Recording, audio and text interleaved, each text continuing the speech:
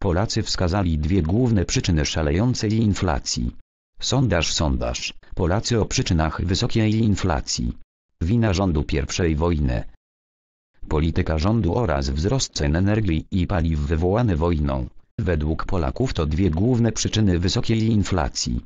Swoje zdanie wyrazili w sondażu United Survey dla Dziennika Gazety Prawnej IRMFFM. Na pytanie, kto lub co w największym stopniu odpowiada za obecny poziom inflacji 33,7%.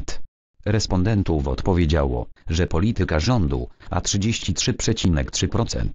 Wzrost cen energii i paliw w związku z wojną w Ukrainie. 14%.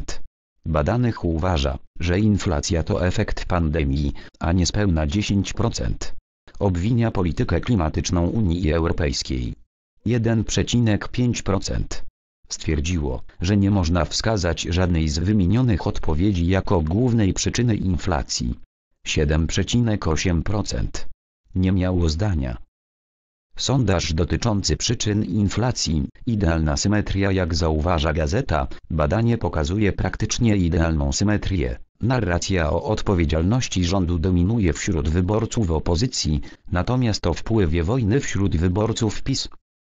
Jednocześnie mało kto wierzy, że jakakolwiek partia polityczna poradzi sobie z powstrzymaniem gwałtownej zwyżki cen.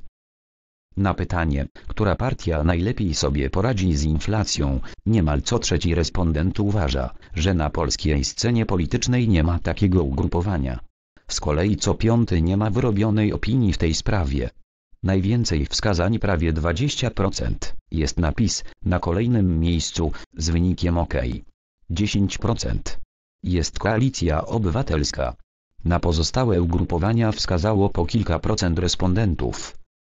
Sondaż przeprowadzono w dniach 1-2 lipca na ogólnopolskiej próbie tysiąc pełnoletnich mieszkańców Polski metodą telefonicznych wywiadów w kwestionariuszowych wspomaganych komputerowo CATI.